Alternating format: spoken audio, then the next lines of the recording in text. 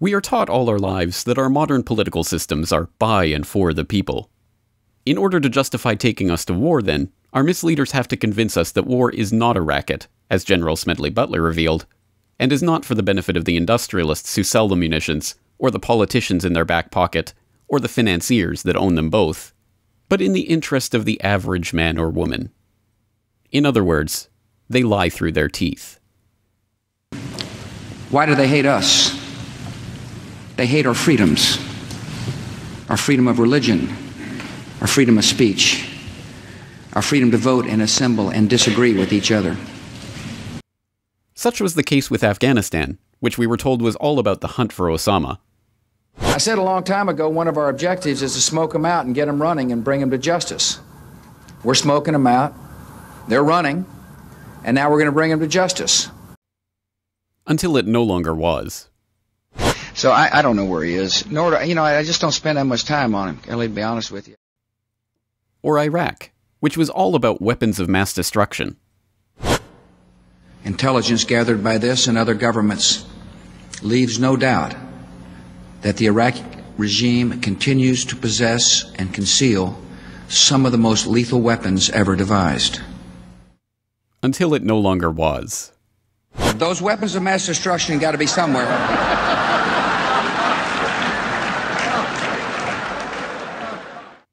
By the time the original lie is exposed, it no longer matters why the war was started, only that it continues as long as it needs to.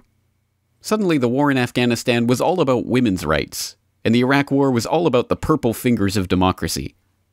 Never mind that women in Kabul are worse off under NATO installed Unocal consultant Hamid Karzai than they were in the bad old days before Operation Cyclone. Never mind that Iraq is now a balkanized mess, divided along religious and ethnic lines and still rocked by bloody violence on a daily basis. The media spotlight has shifted to the next 24 7 distraction, and the public can go back to not being able to place these countries on a map, let alone care about their inhabitants. This is exactly the case with the NATO led invasion of Libya in 2011, which once again we were told was about a heartfelt concern for the well being of the Libyan people the Libyan opposition, and the Arab League appealed to the world to save lives in Libya. And so, at my direction, America led an effort with our allies at the United Nations Security Council to pass a historic resolution that authorized a no fly zone to stop the regime's attacks from the air and further authorized all necessary measures to protect the Libyan people.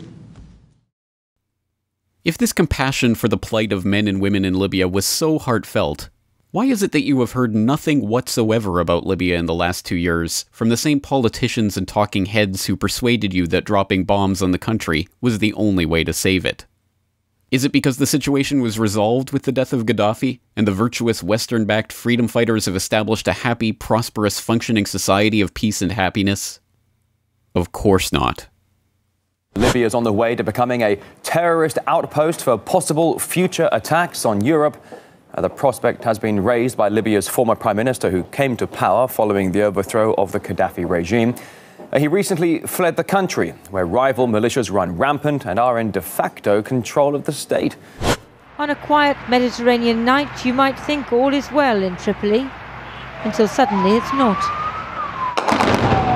We filmed from our hotel balcony as two rival militia clashed. It turned into the worst fighting since the overthrow of Colonel Gaddafi. Libya's weak government has no control. The men with guns are a law unto themselves. The brigades who spearheaded the Libyan revolution now threaten to destroy it. Once again, the public was lied to just enough to convince them that war was necessary to maintain peace.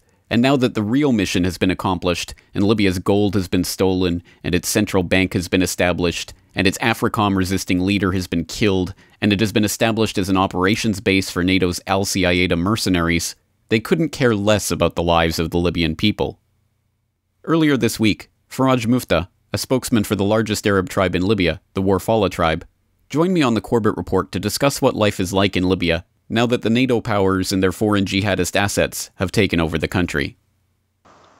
Every every day you will hear uh, someone kidnapped, military officers kidnapped, uh, any civilian people kidnapped, has been kidnapped by militia. Nobody knows how this story was happening in Libya.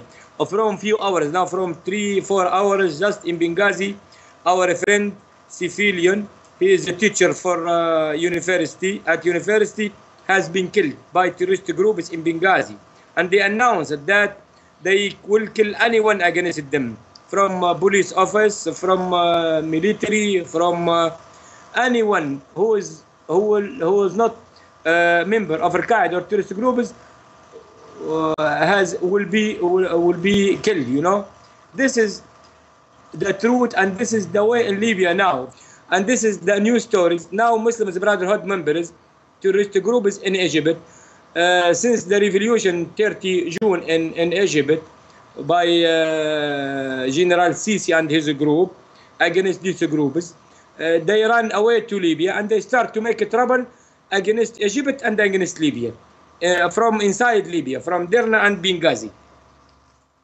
And Musrata now, this is the main center for training terrorist groups. Derna as well, the main center for Al Qaeda groups from all the world. There are those who have been trying to spread the word about this grim reality to anyone who will hear it, but unsurprisingly, they have been ignored, shunned, and even threatened by the same US government that once mouthed its concern for Libya. A prime example of this phenomenon are James and Joanne Moriarty, two Americans working in Libya since 2007, who became first hand eyewitnesses to the bloody war waged against the Libyan people in 2011 and the aftermath of cover up perpetrated at the highest levels of political office.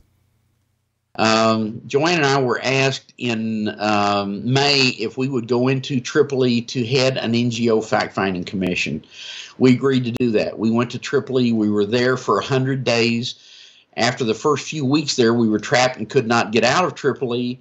In the end, we were captured by Al Qaeda. We'd been put on their kill list because we had had the audacity to tell the Libyan people that they had the right to determine their own government. We were taken to the Al Qaeda Torture Center, which was the Mahari Hotel. We were there a long time. So we had uh, maybe 200 gigabytes of videos and and photographs of what happened during that time that with NATO. We had many, many personal interviews of people with their personal stories.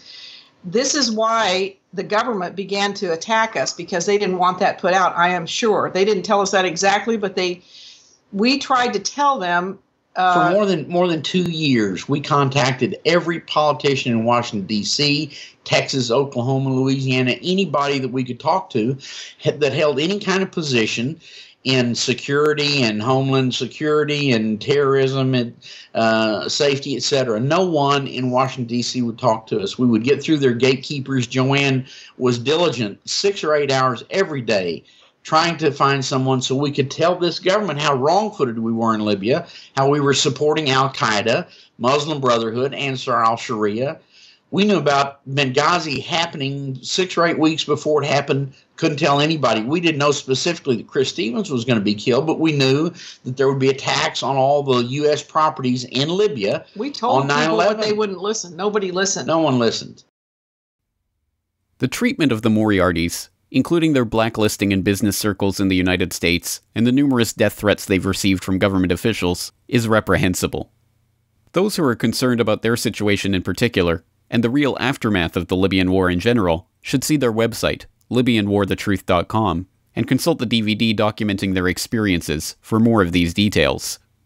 But as long as we continue letting politicians lie about their concern for people around the world, whether it be the Egyptians in Tahrir Square who are now living through an era of chaos and upheaval while being virtually ignored by the politicians and commentators who pretended to care for them, or the Ukrainians who have just been signed into IMF debt slavery by the same forces that pretended to care about their plight. The same scenes of violence and misery will take place over and over again, at the expense of the masses, and for the benefit of the few at the very top. For citizens of the NATO countries who insist on blindly supporting the NATO war machine every time it kicks into action anywhere around the globe, and who buy into the rhetoric about helping people around the world and protecting interests abroad, ask yourself this. When was the last time that any war, anywhere amounted to anything more than a swindle for the benefit of the bankers and the war industry, or anything less than a bloodbath for the average man or woman in the target country. This video is brought to you by the subscribers of BoilingFrogsPost.com. For more information on this and other topics, please go to BoilingFrogsPost.com. For more information and commentary from James Corbett, please go to CorbettReport.com.